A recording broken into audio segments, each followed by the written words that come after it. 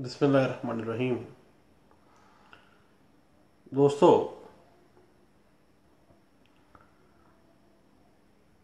Law of Ritz बुनियादी तौर पर रिट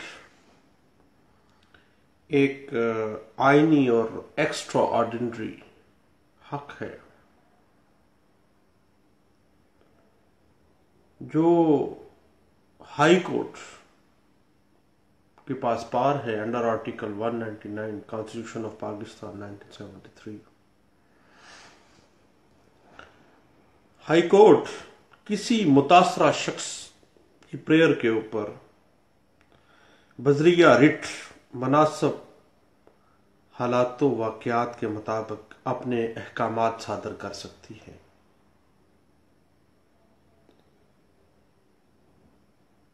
अंडर आर्टिकल 199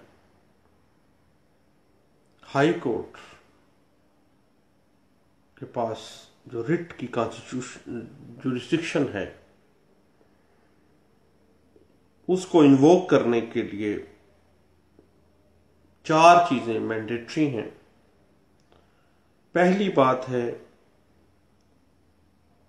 कि जो पार्टी रिट में आई है, रिट लेकर आई है, जिसके पास लोकस स्टैंड आई है उस रिट का, क्या ही has an aggrieved party as defined under article 199 class 1 A of the constitution of Pakistan 1973 पहली रिक्वायरमेंट ये है। Secondly relief sought by petitioner is one which is legally entitled to seek under any provision of law, rule, and or regulations.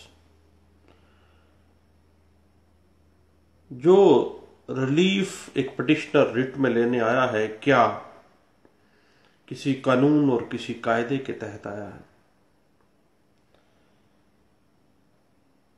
तीसरी mandatory provision जो है 199 को apply करने के लिए वो है अल्टरनेट रेमेडी का होना। For seeking relief prayed for petitioner no other forum or remedy is available to petitioner तीन चीज़ें हैं। नंबर वन जो पटिशनर है, उसके पास locus standi as aggrieved party है।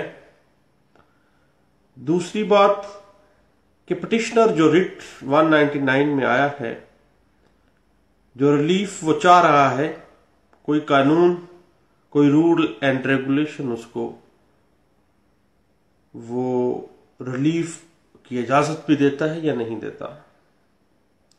और तीसरी है अल्टरनेट रेमेडी क्या उसके पास कोई अदर फोरम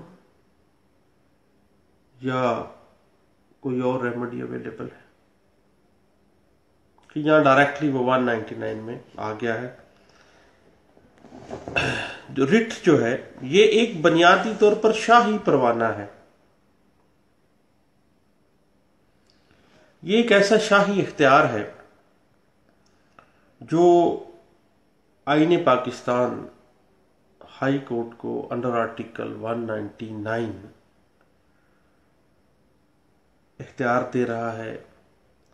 और 199 कॉन्स्टिट्यूशनल जुडिडिक्शन जो है हाई कोर्ट की, वो इतनी वसी है कि इसके ज़रिए हाई कोर्ट अपनी मातहत अदालतों को कंट्रोल करती है और मातहत अदालतों को मनमानी नहीं करने देती।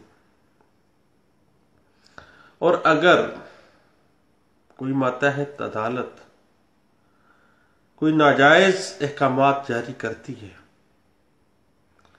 तो अंडर आर्टिकल 199 हाई कोर्ट अपनी कॉन्स्टिट्यूशनल जुरिस्डिक्शन में उस नाजायज अहकाम को कालदम करार देती है और आम शख्स जो इन अहकाम की वजह से मुतासर हो रहा है, जो पटिशनर आया है अंडर आर्टिकल 199 रिट लेके, उसको रिलीफ दिलाती है।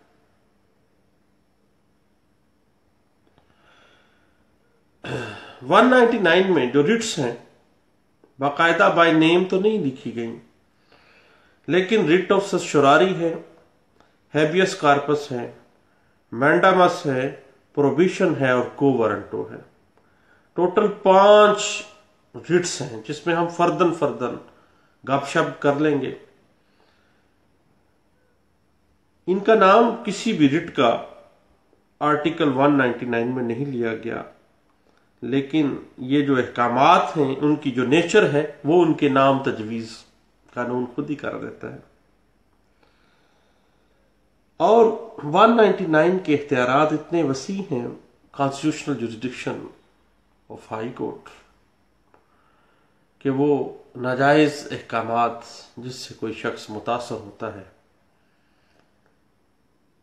वो कालदम करार दे देती है। हाई कोर्ट किसी भी सूबे की सुप्रीम कोर्ट होती है। सबसे बड़ी कोर्ट होती है।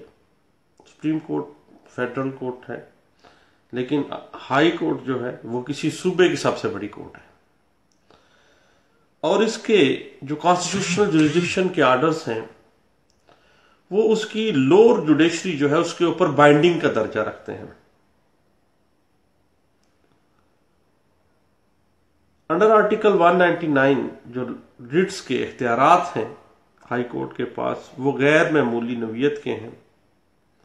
और ये total description of the court है।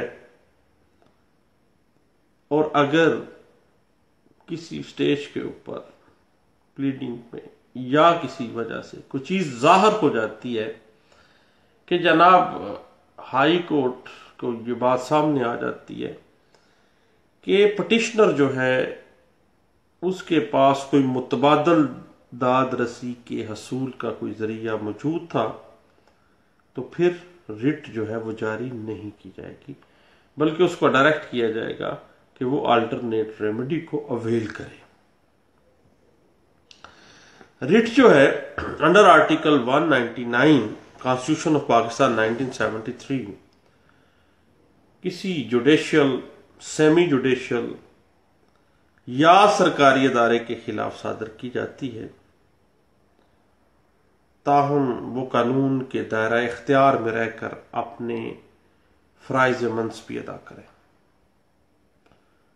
और रिट में वाजे किया जाता है इस बात को कि अदारे जो हैं वो आमराना तौर पर अपने इख्तियार को इस्तेमाल ना करें, मनमानियाँ ना करें गैर अपनी मनमानी में जो फैसला आया, वो नहीं कर सकते। और ये जो चेक एंड बैलेंस का सिस्टम है, वो रेगुलराइज किया जा रहा है 199 की रिट्स के ज़रिए। और अगर अदारे अपनी मनमानी करेंगे तो उनके अहकाम जो हैं, वो under article 199 constitutional jurisdiction of the high court जो है, वो कालदम करार दे दिए जाएँगे। और एक बात यह है कि किसी प्राइवेट शख्स या किसी प्राइवेट अदारे के खिलाफ रिट लाई नहीं करती मेंटेन ही नहीं होती।